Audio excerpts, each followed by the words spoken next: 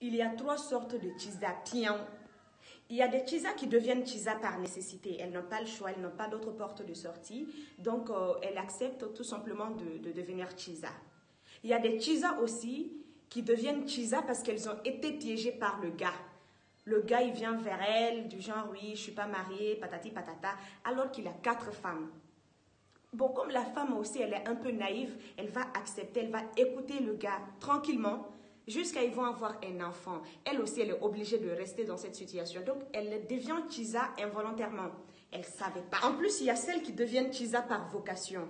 Elles ont l'esprit de rivalité en elles. Elle, c'est la concurrence. Oui, il faut vraiment qu'il soit marié pour que je montre à sa femme que c'est moi la Chisa que c'est moi qui domine son mari, que c'est moi qui décide. Celle-là, c'est mon groupe préféré. Je suis la présidente. On nous appelle les Chisa Nous, en tout cas, on veut rester dans cette histoire de Chisa Mbengeya.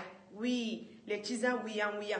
On ne passe pas inaperçu, on n'est pas modeste. Regarde ma tête en tant que présidente. Partout où je passe, tu sauras que voilà, celle-là, c'est une Chisa, c'est une pro. Madame, moi j'ai compris que ça prend plus.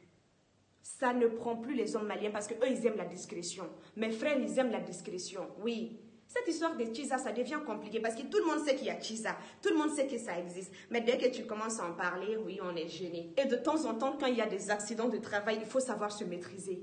Ça arrive. Dans notre travail aussi. Les accidents, de travail, ça existe aussi dans ce que nous on fait. Voilà. Donc, quand on est Chisa, il faut aussi il faut être charismatique, il faut vraiment savoir maîtriser les situations. Tu ne dois pas être tout le temps en train de paniquer. Voilà.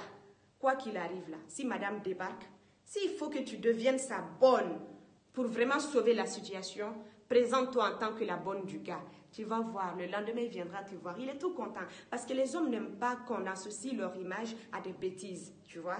Ils font quand même des bêtises, mais peu d'hommes assument. Les hommes n'assument pas. Donc, quand madame débarque et que tu es là en tant que femme de ménage, ma chérie, l'homme dit à sa femme, voilà, c'est ma femme de ménage, accepte, je t'en prie, ne fais pas de palabres. Petit à petit, l'oiseau fait son nid. C'est dans ça, un jour, il va venir demander ta main. Parce que tu l'as respecté, tu as respecté sa femme. Voilà, on est dans une situation embarrassante. Il y a le monsieur, il y a sa femme et puis il y a toi. Surtout mes frères. Ils vont suivre leur femme au calme. Ah, ah. même si après, bon voilà, ils vont aller directement au tribunal pour divorcer. Mais en tout cas, il va suivre sa femme. Tu m'as traité de Chizambenge, je suis la seule qui le rend dengue. Maman, pardon, on mange dans la même assiette. Pardon, il y a toi et moi. Et puis celle qu'on ne connaît pas. Donc on est trois. Il y a madame, il y a moi, et puis il y a celle qu'on ne connaît pas. C'est à nous maintenant de savoir gérer cette situation. On est ensemble.